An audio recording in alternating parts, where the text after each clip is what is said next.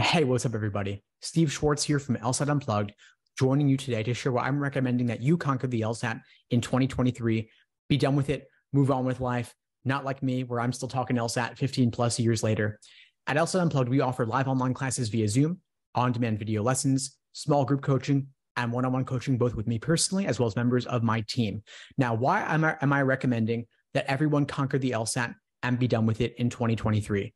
At the time of this recording, we're in mid February 2023. The LSAT and the law school admissions world are going to go undergo some radical changes over the next year and a half or so. I'm going to walk through why those changes mean you want to conquer the LSAT and be done with it this year, 2023.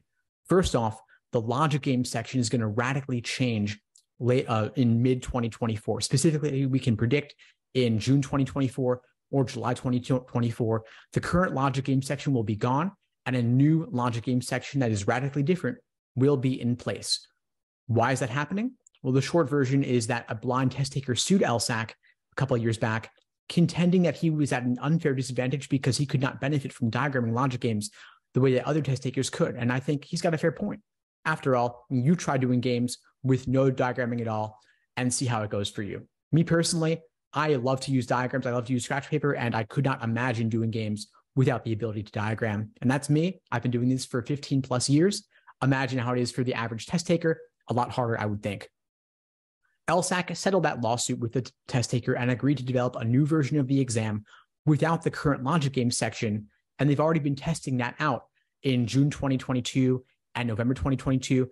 They piloted new, radically different experimental logic games questions for test takers taking those test administrations. And then in December 2022, they ran a field study allowing all test takers to see what those questions might look like to help them calibrate the difficulty and to calibrate what those questions should even look like. What this means is that if you're taking the LSAT in mid 2024 or beyond, the current logic games that have been on the exam for about 30 plus years will no longer be nearly as useful to you as practice material.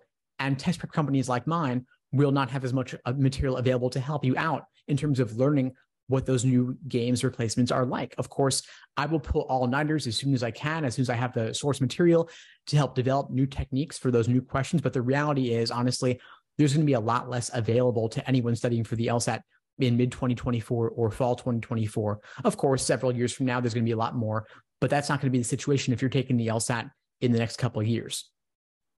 Another major reason that I recommend conquering the LSAT now and being done with it, applying to law school and moving on with your life is that we it looks like we're going to be in a major recession coming up if we're not currently already in one.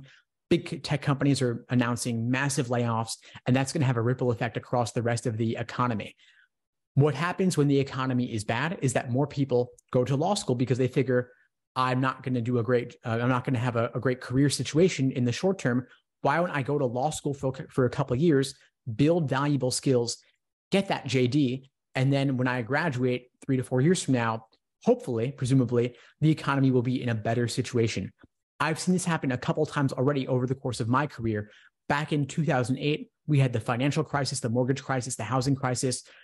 A massive number of people got laid off and they chose to go to law school or they graduated undergrad. They didn't see the job market looking too appealing. They said, you know what? I'm going to go to law school now wait out the recession, get some valuable skills, and then hopefully 2011, 2012, 2013, the job market will, will be better. I'll have that JD. I'll have much stronger earning power to get a better salary.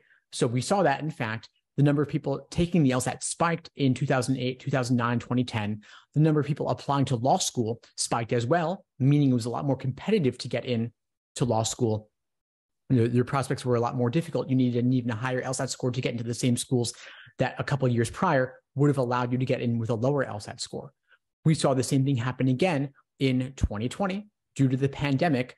The job market was bad. People couldn't do anything really. And so they said, you know what? I'm going to buckle down, study for the LSAT, go to law school. And then we saw as a result, a year later, the most competitive admission cycle ever. What that means is that if we have a recession again now, just a couple of years later, we will likely be in the same situation. We're seeing layoffs already. We're seeing more people taking the LSAT already. And so what that means is that you're going to want to conquer the LSAT now and be done with it so that if we do get into an even worse economic situation in the in the globally, and of course in, in the U.S. in particular, you're going to want to take the LSAT and be done with it now before things get even worse. Secure your LSAT score, apply to law school, get into the best law school possible with the most scholarship money possible. Is my recommendation. And if you would like help with that, my team and I would love to support you. We have live online classes via Zoom again, small uh, on demand video lessons, small group coaching, one on one coaching. We'd love to help you out. Click the link below to book a call with us. We'd love to give you the best possible recommendations for your path forward. We also have a free, easy LSAT cheat sheet linked below this video to help you jumpstart your prep. Anyway, folks, that's all for now. I hope you found this video helpful. If you did, like the video, leave a comment, and subscribe to the channel if you haven't done so already. It really does help and I really do appreciate it. In the meantime, I wish you all the best and take care. Thanks for tuning into the show. Please subscribe if you haven't done so already to be notified of new episodes as I release them. And feel free to reach out if you need anything at all as you move forward with your prep. I'm happy to help however I can. In the meantime, I wish you all the best and take care.